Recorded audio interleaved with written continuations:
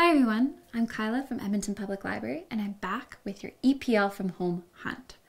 What's the letter of the week this week? Drum roll please. Ta-da!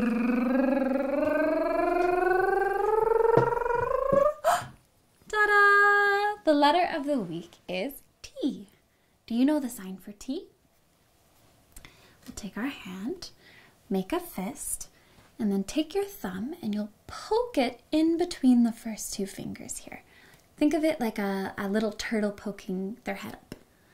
And that's the sign for T. What can you find in your home that starts with the letter T?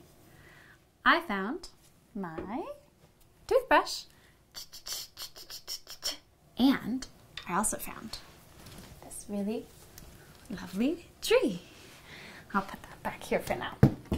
And what can you do that starts with the letter T? I think I'd like to tickle someone. But who could I tickle? Hmm. Oh, I know. I'll tickle my friend, Pal the Puppet. Ooh. Pal, say hi. Hi, everybody. Are you ready for a tickle? One, two, tickle. now it's your turn. What can you find and what can you do that starts with the letter T? Please share your photos and videos and don't forget to use the hashtag EPL from Home Hunt so we can see what you share. Thanks so much for watching and we'll see you next week.